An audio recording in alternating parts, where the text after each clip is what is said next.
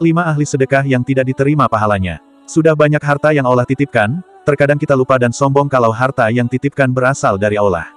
Bersedekah adalah salah satu bentuk rasa syukur kita terhadap nikmat yang diberikan oleh Allah Subhanahu wa Ta'ala.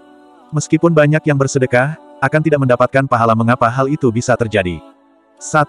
Mencari pujian dari orang lain. Terkadang manusia bersedekah dengan rasa pamrih agar terlihat baik mata manusia lainnya. Akan tetapi jika kita berbuat pamrih saat bersedekah maka kita tidak akan mendapatkan pahala. Sabda Rasulullah, berikutnya yang diadili, adalah orang yang diberi kelapangan rezeki dan berbagai macam harta benda. Diperlihatkan kepadanya kenikmatan-kenikmatan yang telah diterimanya, ia pun mengakuinya. Akan tetapi jika kita berbuat pamrih saat bersedekah maka kita tidak akan mendapatkan pahala. Sabda Rasulullah, berikutnya yang diadili, adalah orang yang diberi kelapangan rezeki dan berbagai macam harta benda. Diperlihatkan kepadanya kenikmatan-kenikmatan yang telah diterimanya, ia pun mengakuinya. 2. Menunda sedekah. Nikmat sehat dan kelapangan rezeki sering kali kita lupakan. Setelah Allah limpahkanlah rezeki yang luas, terkadang manusia lupa untuk bersedekah, padahal di dalamnya terdapat hak orang-orang yang kurang mampu.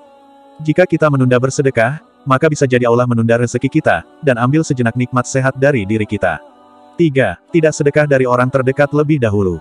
Tidak perlu jauh-jauh untuk mencari siapa yang berhak diberi sedekah. Karena sedekah paling utama adalah kepada orang tua kita terlebih dahulu, kemudian saudara, barulah anak yatim piatu, orang miskin di sekitar kita, musafir dan lain sebagainya. 4. Perhitungan dalam bersedekah. Jika kita membeli kebutuhan sehari-hari pasti kita akan memikirkan untuk menyesuaikan belanjaan kita dengan uang kita miliki. Begitu pula dengan bersedekah, sebaik tidak berlebih-lebihan namun juga tidak kikir. Bersedekahlah semampumu. Apabila kita kikir bisa jadi Allah kikir juga terdapat kita. 5. Mengungkit sedekah. Salah satu kebiasaan buruk orang yang bersedekah yaitu mengungkit kebaikannya dalam bersedekah. Padahal sikap mengungkit-ungkit sedekah adalah tindakan yang dibenci oleh Allah Subhanahu wa Ta'ala.